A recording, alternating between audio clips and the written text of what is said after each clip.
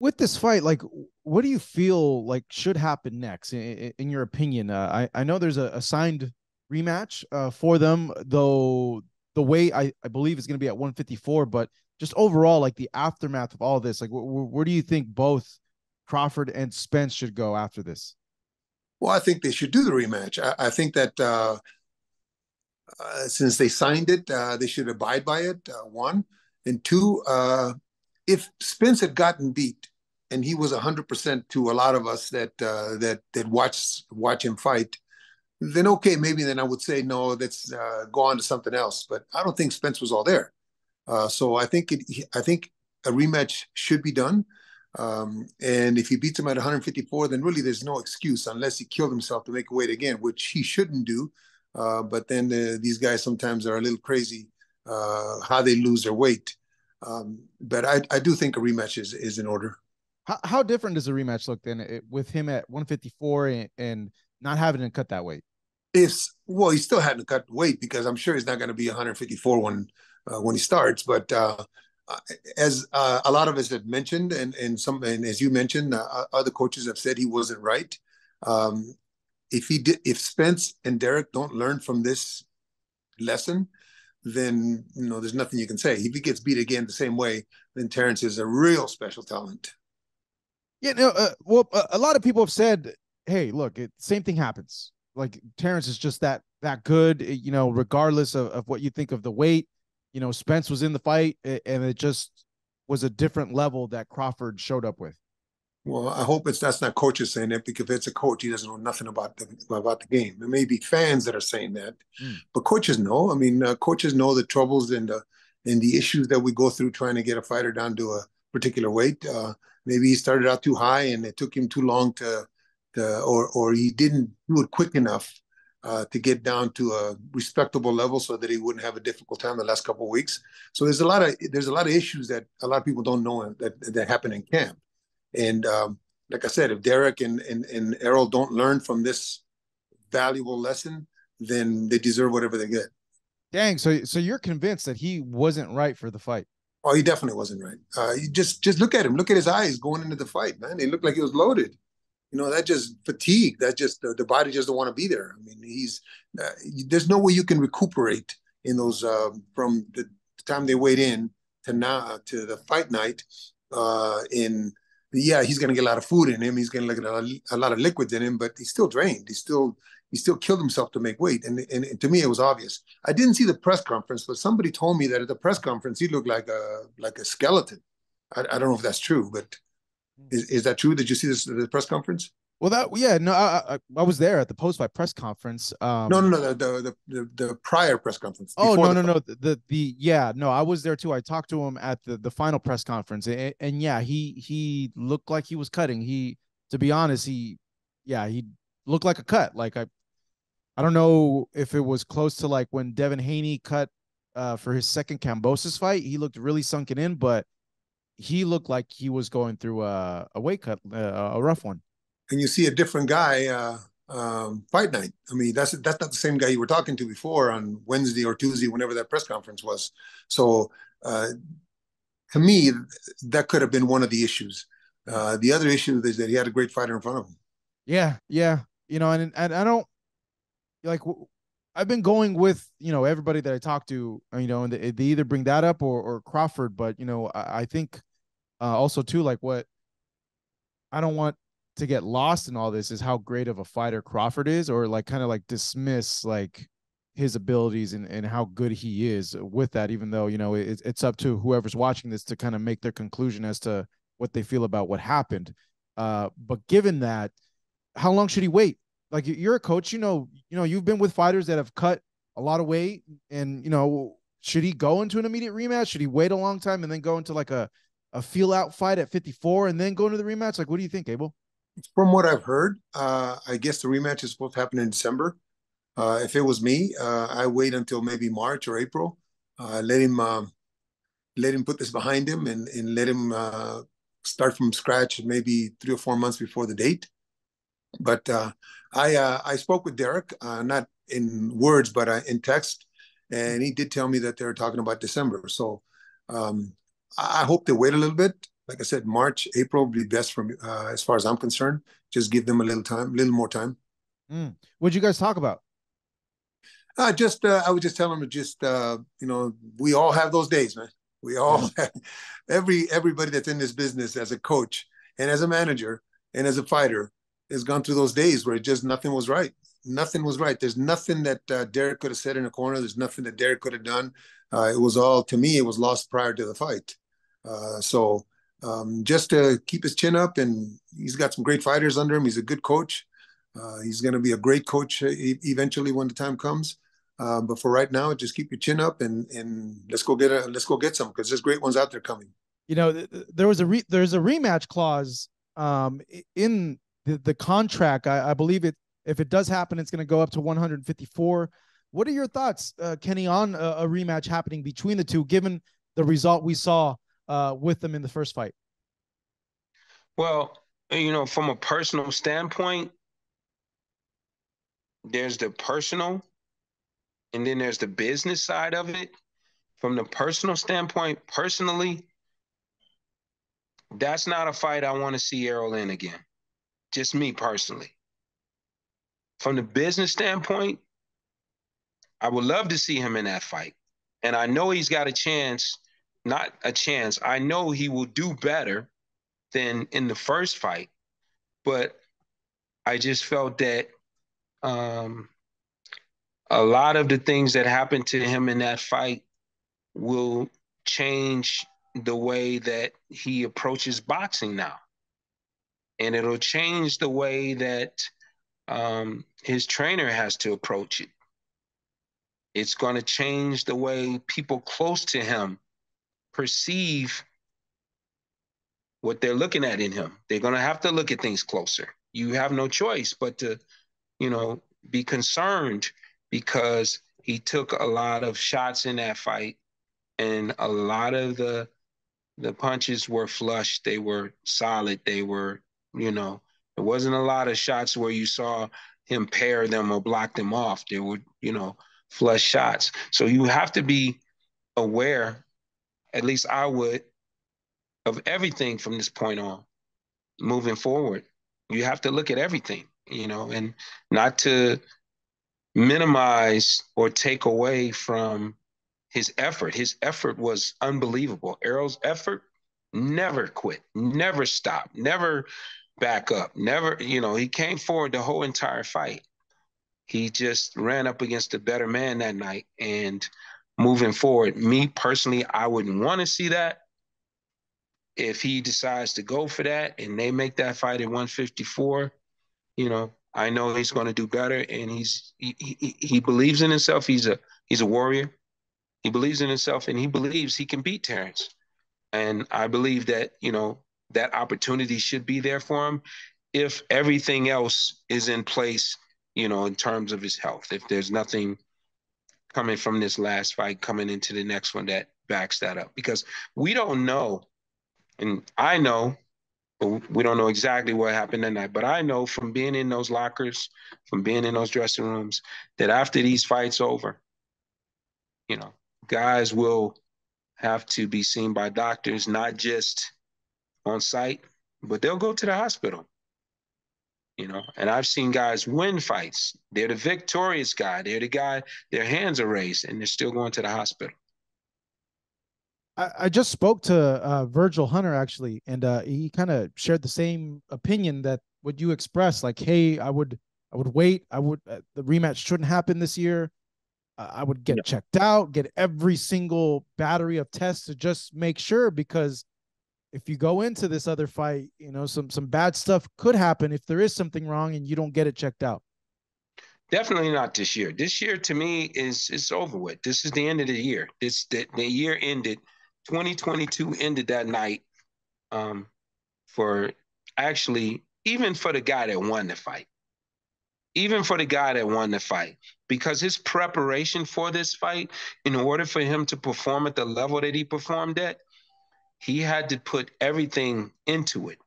And he now needs some time to recover from that as well. You know, physically, I think um, Terence was fine. I didn't think that he took any um, punishment or any shots that I thought, man, Terence might have got rocked right there. I didn't think that at all. But there's an emotional component to this. There's a mental component to this. There's other things that are no longer in balance. You need physical balance, mental balance, emotional balance, nutritional balance, um, spiritual balance. Let's talk about the nutritional balance just for a moment.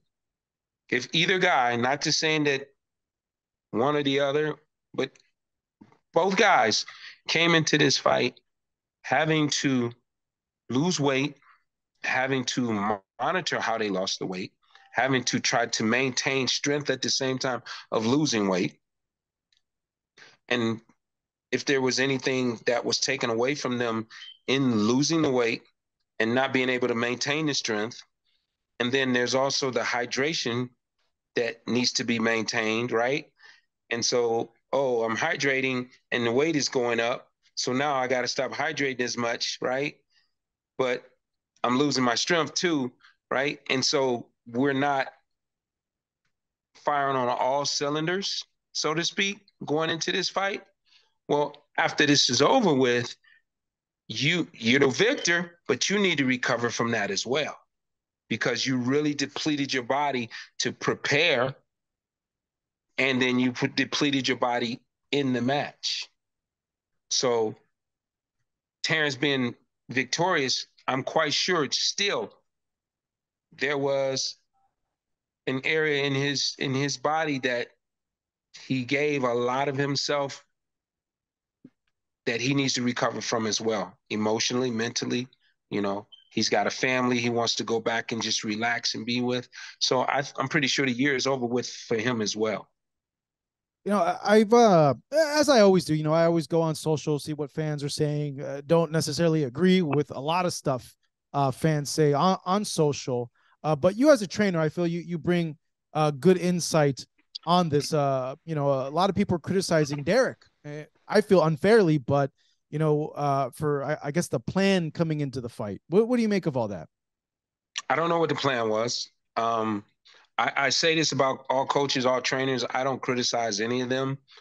Um, they all have the same mindset.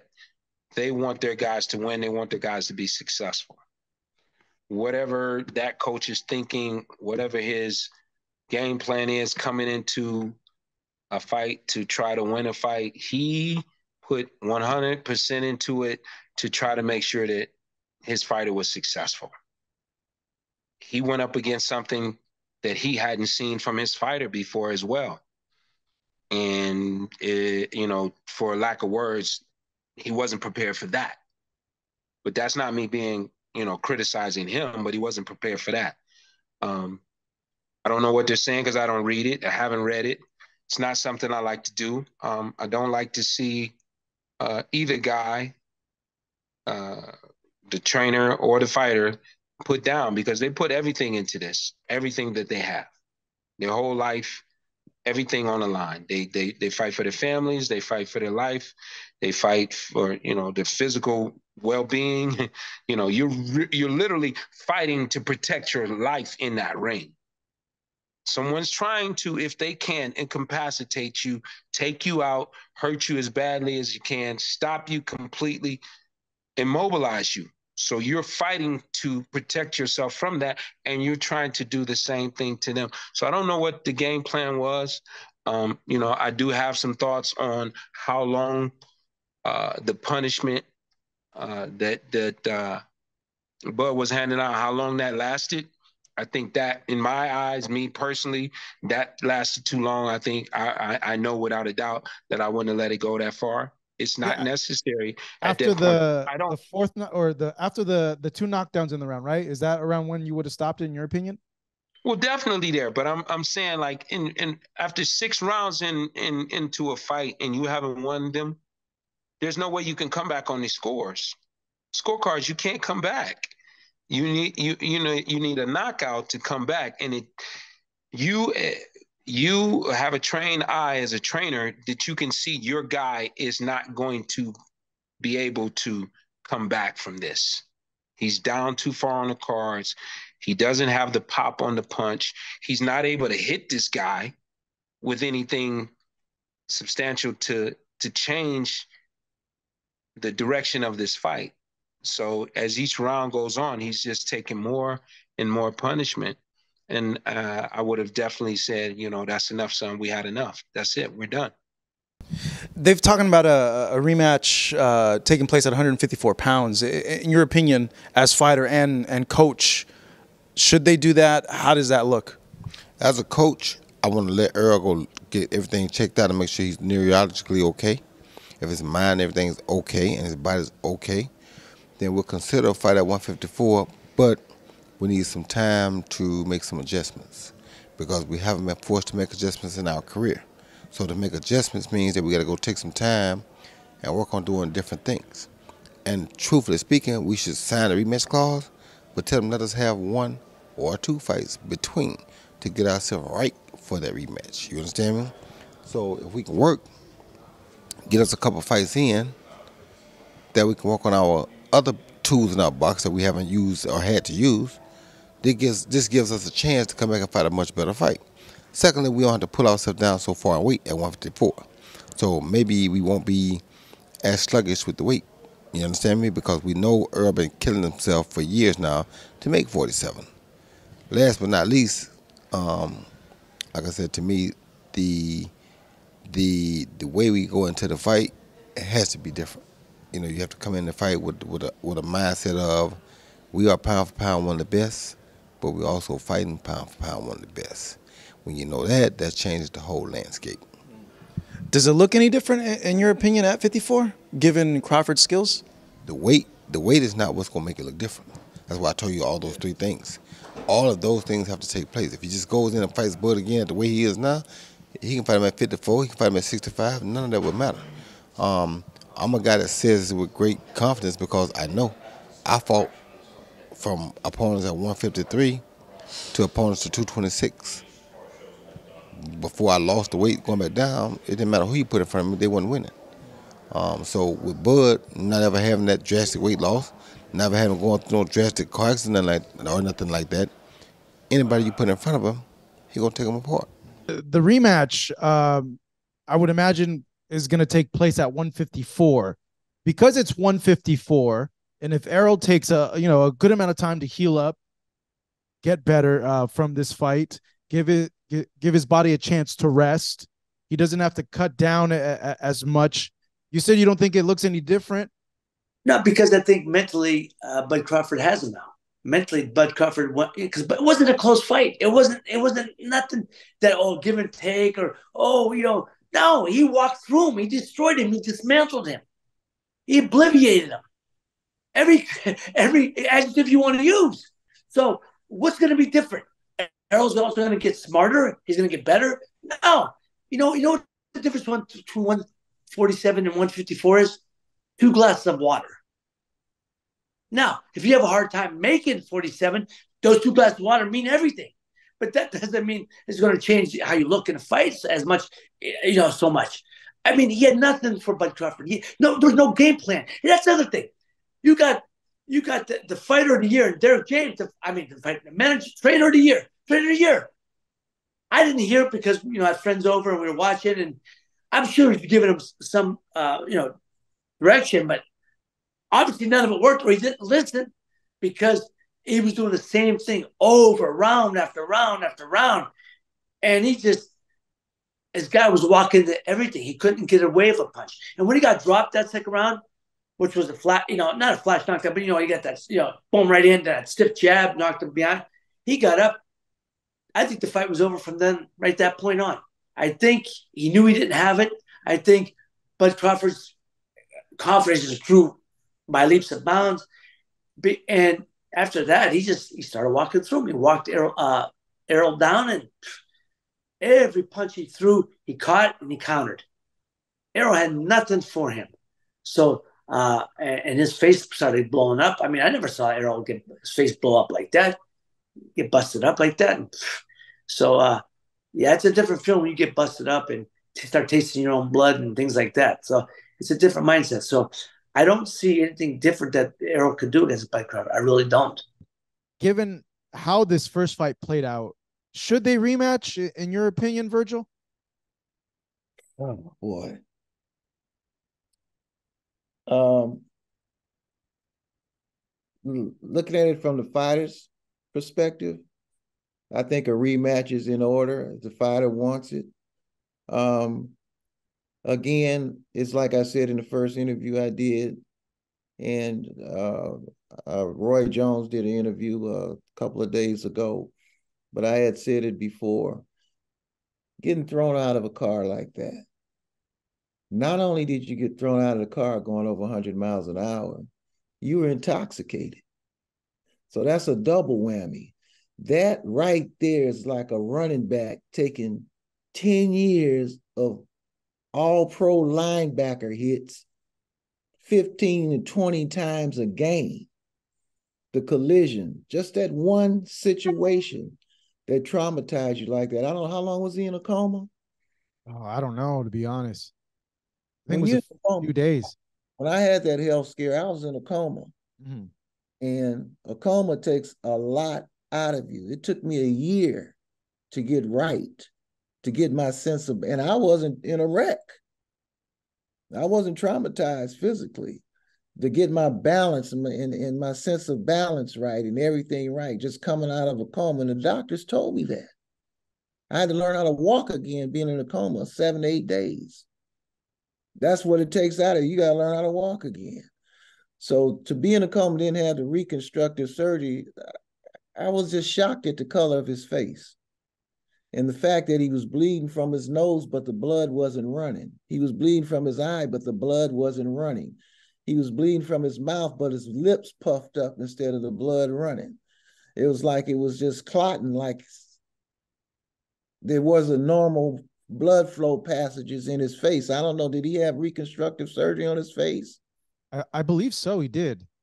So you got to look at that situation because of the way he puffed up. So those are concerns. Those are medical concerns to me. Then on top of the trauma of the wreck, and then all the training for the next two fights, the sparring. I heard that he spars 15 rounds and things like even if he had a headgear on, sparring those many rounds, even if you blocking the punches and they hitting you, sparring those many rounds, coming off of that type of trauma and then getting hit with those type of shots. Uh, if it was me,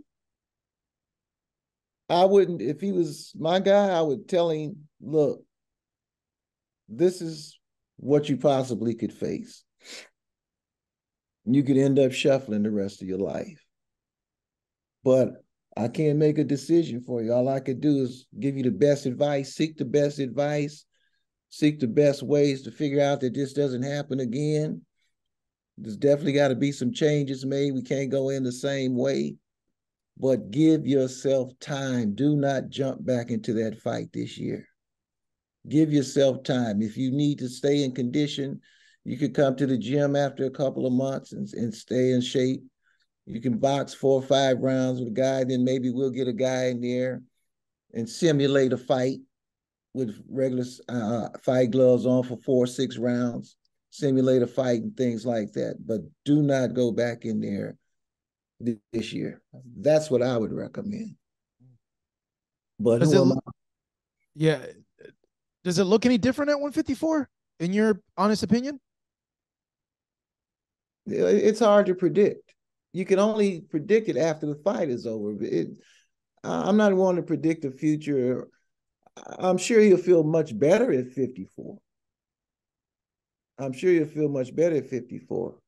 But I think that he has to consider when to grind and when not to grind. And to trust his body and to trust, get with the dietitian on the days that you rest. It took a long time for me to convince Andre that you have to rest what happens is they start feeling real good. So now they want to go, go, go. So they leave it in the gym. Once you start feeling good, you got to keep it right there. Once I run, once I run a hill, a four mile hill in 25 minutes, I don't go to a six mile hill. Let me run the four mile hill in 24 minutes. Then let me run the four mile hill in 21 minutes. That lets me know I'm getting in better shape. I don't increase the mileage, I reduce the time. So on the days that he rests, you got to rest, man. You have to rest. You just can't grind, grind, grind, grind, grind. And um, running all these miles every day and things like that. Once you're in condition, you get the rest of the conditioning by resting. You get the rest of the condition by resting. You don't increase the mileage, you reduce the time. And so all those things that I, w- I would try to put into him to consider. Um, be real thoughtful about it. Don't let ego and pride get in the way. Pride comes before the fall. But only he knows how he felt. Only he knows and can play the fight back through his mind. Nobody else could do it for him. He was in there. He can play the fight back in his mind. He knows what what goes on. So right now, it's definitely pride talking. But he has to settle down and let reasoning come into the equation. He has to let common sense come into the equation. Look, you're gonna be a Hall of Famer, son. I believe that. You don't have nothing to be ashamed of. Nothing to be ashamed of. But at the same time, you have children that depend on you. You you should do okay this fight. You should be fine for life and things like that. You have to think about your health. You have to think about what you've been through. You have to think about all the things that even before the accident, he admitted to me one time that he wasn't living the, the, the best lifestyle. Um, and then that that wasn't a big secret in the boxing world. This this is irreversible damage. I had an old trainer tell me once that drinking is worse than cocaine for a fighter. And I used to warn Adrian about it and things like that. It, it don't take long, man. It's irreversible damage to your organs. And when your organs are damaged, your blood flows right. When it's gone, you're not getting it back. It's not coming back. You hear old fighters say, I'm in the best condition in my life at 36. No, you're in the best condition a 36 year old can get into. You're not in the best condition a 22 year old gonna get into. So don't kid yourself. But I think right now, and I understand, I would probably feel the same way. My pride would be bruised, my ego would be bruised. I had to eat my words. This happened in front of the world. It's not an easy thing to live with. But if Errol can hear what I'm saying, it's okay. It's okay. Five years from now, only boxing people will be talking about it, but you will be remembered as a great fighter and a great champion. And so that's nothing to be ashamed of. In this sport, it's gonna always be somebody come along better than you. If Crawford hang around too long, it'll happen to him. So it um I just want him to give himself time to reason, be very reasonable, to look at your children, go to the neurologist, go to the doctor, get the honest opinion. Don't get the opinion that you want to hear. Get the honest opinion from two or three of them. Tell them, look, don't tell me what I want to hear. Tell me the truth. And if they all telling you the same thing, and you willing to gamble on your health and you willing to gamble on your life because of pride, um, then you know I, there's nothing I can tell you. I'm just being very concerned about an older man that be 70 years old in November. Um, it takes skills to get old. You don't get old being foolish. It takes skills to get old. Pride don't get you old. Pride to get you killed. There's a lot of people in the graveyard would come up if they could talk to you, tell you, if I didn't let pride get in the way, I'd still be here. Wow. So, wow. you know, he could be one fight away from permanent damage. We don't know how much damage this fight has done. What we see on the face is a lot more going on the inside. He has to pay attention. His parents has to pay attention to his speech patterns, his walk patterns, his reactive patterns. He he needs to be tested neurology, neuro, neurologically. He needs to be tested.